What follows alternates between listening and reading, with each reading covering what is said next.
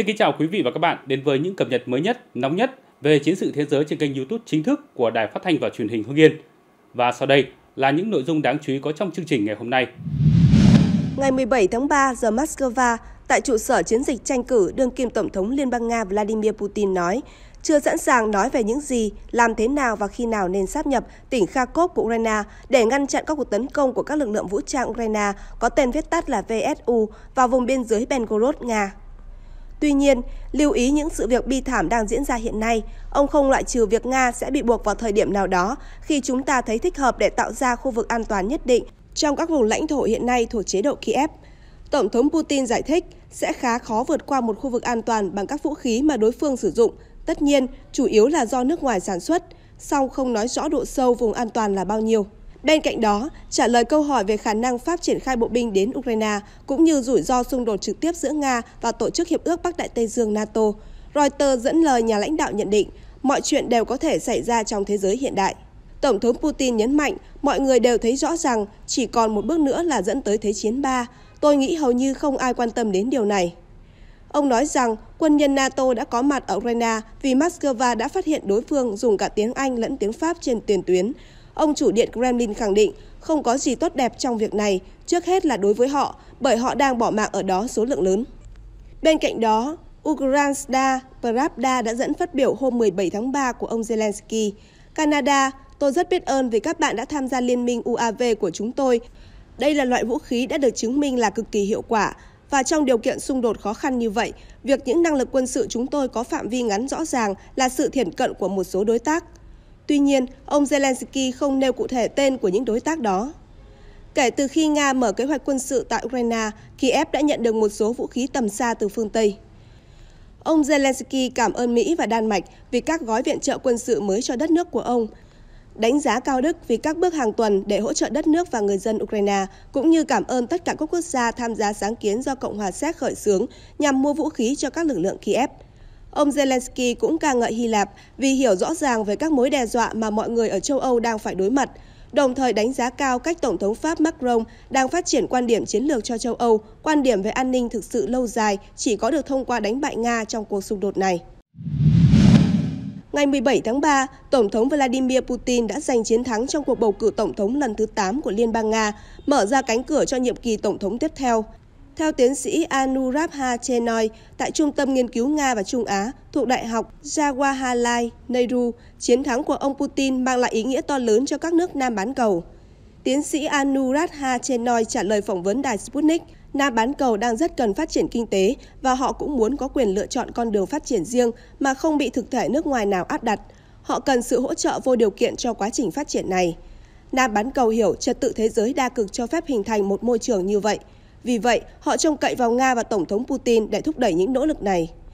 Theo nữ học giả Ấn Độ, dưới thời Tổng thống Putin, Nga đặc biệt tập trung vào quan hệ với Nam bán cầu khi ngày càng có nhiều quốc gia đang phát triển vạch ra con đường theo đuổi chính sách đối nội và đối ngoại độc lập. Nếu so sánh với cách tiếp cận của phương Tây đối với Nam bán cầu, đặc điểm nổi bật trong chiến lược của Nga là hỗ trợ vô điều kiện và quan hệ đối tác bình đẳng. Các nền kinh tế mới nổi đang thể hiện khả năng phục hồi và linh hoạt đáng kể, đáng chú ý nhất là BRICS, nhóm các nền kinh tế mới nổi đã vượt qua nhóm G7, các quốc gia công nghiệp hóa trên thế giới, khi xét về tỷ trọng trong tổng sản phẩm quốc nội GDP toàn cầu tính theo sức mua tương đương PPP. Theo tiến sĩ Chenoy, sau khi giành chiến thắng trong cuộc bầu cử năm 2024, Tổng thống Putin có thể sẽ tiếp tục tăng cường quan hệ với Nam bán cầu. Bà coi mối quan hệ Nga-Ấn lâu đời là hình mẫu cho mối quan hệ như vậy. Trong khi Nga là thành viên trong nhiều diễn đàn đa phương, BRICS đại diện cho một nền tảng đoàn kết các châu lục và hình thức quản lý khác nhau. Cách tiếp cận toàn diện của nhóm đã giúp mở rộng tổ chức này vào tháng 1 năm 2024 khi có thêm thành viên là các tiểu vương quốc Ả Rập Thống Nhất, Ả Rập Xê Út, Ethiopia, Ai Cập và Iran. Mối quan hệ lâu đời của Nga với các nước đang phát triển bắt nguồn từ thời Liên Xô và gặp phải thách thức sau khi phương Tây áp đặt loạt lệnh trừng phạt đối Moscow. Hầu hết các quốc gia ở Nam bán cầu đều bác bỏ các lệnh trừng phạt đơn phương và bất hợp pháp của phương Tây đối với Nga. Tiến sĩ trên nói chỉ ra nỗ lực cô lập Nga thất bại phần lớn là nhờ chiến lược đối ngoại mà Tổng thống Putin lựa chọn. Khi các lệnh cấm của Mỹ và EU có nguy cơ làm tê liệt hoạt động thương mại, cung cấp nông sản và phân bón của Nga cho các nền kinh tế mới nổi, Moscow đã công bố sáng kiến cung cấp miễn phí ngũ cốc và phân bón cho những nước có nhu cầu. Bên cạnh đó, các nước Nam bán cầu cũng phớt lờ những nỗ lực của phương Tây nhằm coi Nga là mối đe dọa của thế giới. Trong khi biểu đồ rủi ro của chỉ phố an ninh Munich năm 2023 xếp Nga là rủi ro số 1, thì một biểu đồ tương tự do các nước Brazil, Ấn Độ, Trung Quốc và Nam Phi bình chọn cho thấy Nga tăng nhẹ từ vị trí thứ 29 lên vị trí thứ 28 và sau đó quay trở lại xếp hạng cũ vào năm tiếp theo. Trong bài phát biểu tại Thượng viện Mỹ, ông Chuck Schumer, một người ủng hộ Israel nhiều năm qua và là quan chức dân cử cấp cao nhất của người Do Thái ở Mỹ, kêu gọi tổ chức một cuộc bầu cử mới ở Israel và cho rằng ông Netanyahu là trở ngại cho hòa bình. Đáp trả lời phát biểu của ông Schumer, Thủ tướng Israel Benjamin Netanyahu nói trong cuộc phỏng vấn với CNN, Tôi nghĩ những gì ông ấy nói là hoàn toàn không phù hợp, thật không phù hợp khi đến một nền dân chủ chị em và tìm cách thay thế ban lãnh đạo được bầu ở đó. Bài phát biểu của ông Schumer cho thấy sự thất vọng ngày càng lớn ở Washington đối với Thủ tướng Netanyahu về cách ông xử lý cuộc xung đột với lực lượng Hamas và không làm nhiều hơn để bảo vệ thường dân Palestine ở giải Gaza.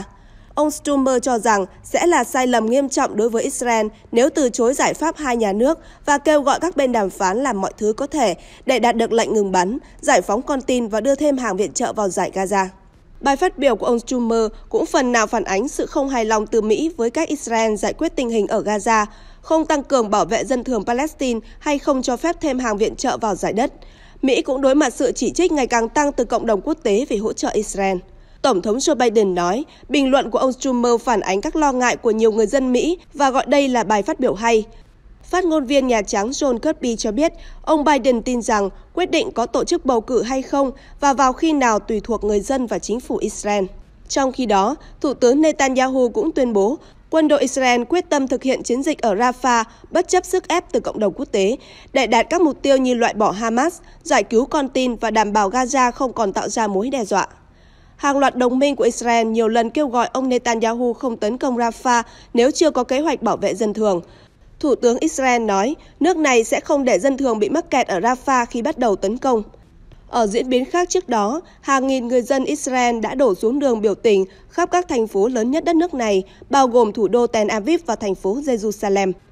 Tại Tel Aviv, các đoàn biểu tình dương cao khẩu hiệu đòi chính phủ của Thủ tướng Benjamin Netanyahu từ chức. Nhiều đối tượng quá khích còn phóng hỏa và xô sát với lực lượng an ninh trong thành phố. Hãng tin CNN cho biết có cả quan chức quốc hội nước này tham gia vào dòng người biểu tình phản đối chính phủ. Theo Al Jazeera, một bộ phận người Israel bày tỏ bất mãn về hành động của chính phủ trong cuộc xung đột cũng như cam kết trước vấn đề giải cứu con tin đang mắc kẹt ở giải Gaza. Ủy ban bầu cử Trung ương Nga có tên viết tắt là CEC đã công bố kết quả sơ bộ của cuộc bầu cử tổng thống năm 2024. Hãng TASS dẫn dữ liệu cập nhật mới nhất cho biết, sau khoảng 50% số phiếu được kiểm, đương kim Tổng thống Vladimir Putin dẫn đầu với 87,34% số phiếu. Kết quả sơ bộ cho thấy ông Putin đắc cử nhiệm kỳ thứ 5 và sẽ lãnh đạo Nga trong 6 năm nữa. Tổng thống Putin ngay sau đó đã cảm ơn người dân Nga vì đã bỏ phiếu và ủng hộ ông. Phát biểu tại trụ sở chiến dịch tranh cử của mình, ông Putin cho biết tất cả chúng ta đều cùng một đội ngũ. Ông nhấn mạnh nguồn sức mạnh của đất nước là nhân dân Nga, ý chí chung của người dân cả nước được hình thành từ tiếng nói của mỗi người dân. Ông Putin nói, kết quả bầu cử cho thấy người dân Nga tin tưởng vào sự lãnh đạo của ông và rằng chiến thắng này sẽ cho phép xã hội Nga được củng cố, trở nên mạnh mẽ hơn. Ông Putin nói, chiến thắng của ông sẽ cho phép Nga củng cố xã hội và cho thấy nước Nga đã đúng khi chọn con đường hiện tại. Chủ nhân Điện Kremlin khẳng định, mặc dù còn phải đối mặt với vô vàn thách thức, nhưng nước Nga sẽ vượt qua nếu có thể duy trì sự đoàn kết. Ông nói, bất kể ai tìm cách đe dọa, đàn áp ý chí của chúng ta bằng bất cứ cách nào, họ sẽ thất bại kể cả là ở hiện tại hay trong tương lai. Đồng thời cảm ơn sự tin tưởng bằng người dân Nga và cam kết sẽ cố gắng hết mình để giải quyết các nhiệm vụ đặt ra trước mắt đất nước và đạt được những mục tiêu mà Nga xem là ưu tiên cao nhất. Ông Putin cũng dành lời cảm ơn cho những người lính tham gia xung đột tại Ukraine. Ông tuyên bố, ông sẽ làm mọi việc có thể để hoàn tất kế hoạch quân sự ở Ukraine. Ông cho biết quân đội Nga đang tiến công mỗi ngày và giành thế chủ động trên tiền tuyến Ukraine. Ông Dmitry Medvedev, cựu tổng thống, cựu thủ tướng và hiện là phó chủ tịch Hội đồng An ninh Nga, chủ tịch Đảng nước Nga thống nhất cũng đã chúc mừng tổng thống Vladimir Putin vì chiến thắng huy hoàng của ông trong cuộc bầu cử này. Trong khi đó, truyền hình nhà nước Nga ca ngợi sự ủng hộ to lớn dành cho tổng thống Putin. Trái lại, một số nước phương Tây như Mỹ, Đức, anh, Ba Lan đã ra tuyên bố về cuộc bầu cử tổng thống Nga nhưng nhìn chung theo hướng chỉ trích. Chủ tịch Hội đồng châu Âu Charles Michel đã chúc mừng ông Putin một cách mỉa mai về chiến thắng vang dội từ ngày đầu tiên bỏ phiếu hôm 15 tháng 3. Ngày 17 tháng 3, Ủy ban bầu cử Trung ương Nga CEC cập nhật Tổng thống đương nhiệm Vladimir Putin dự kiến chiến thắng trong cuộc bầu cử tổng thống nước này năm nay. Và đến đây thì những cập nhật mới nhất về những diễn biến chiến sự thế giới xin được khép lại. Cảm ơn quý vị và các bạn đã quan tâm theo dõi. Xin kính chào và hẹn gặp lại trong những chương trình sau.